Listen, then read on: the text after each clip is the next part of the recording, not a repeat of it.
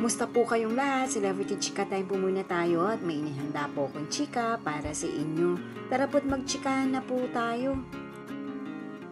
Hala, interview ni Maine Mendoza, may batang tumatawag ng daddy. Yes, mga maka-celebrity chika time, kahapon hanggang ngayon ay nasa Subic Beach si Maine para sa taping ng kanyang programang Main Goal sa Buko Channel.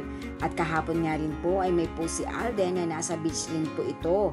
Kaya naman usap-usapan sa social media ng mga netizens, lalong-lalo na nga po mga maka-major at maka-aldab na di umano'y mukhang magkasama ang phenomenal couple at nakadagdag pa nga ang boses ng bata sa interview na tumatawag ng daddy. Yan po ang aking ipakikita po sa inyo, ang short video clip po na yan. Bago po tayo magsimula po riyan ay nais ko po munang batiin mga ating bahay, team abroad at mga seniors natin dyan.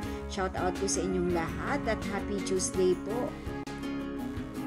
Laking pagtataka nga po ng mga nakarinig sa video clip po na yan ni May na kung saan ay may boses nga po ng bata na tumatawag ng daddy-daddy.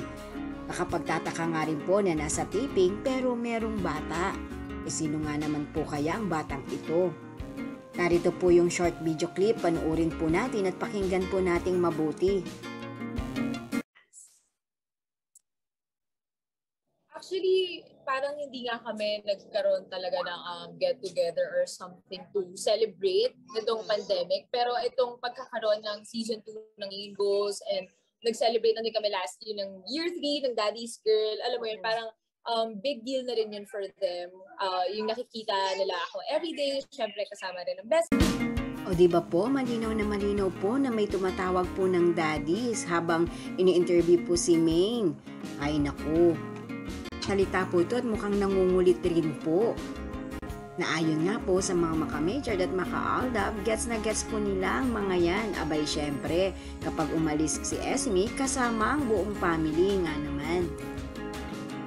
Samantala, tuloy na tuloy naman po ang forward concert ni Alden sa US at kanila na nga pong ilalabas ang kanilang teaser bukas sa ganap na ika-ilabing isa ng umaga.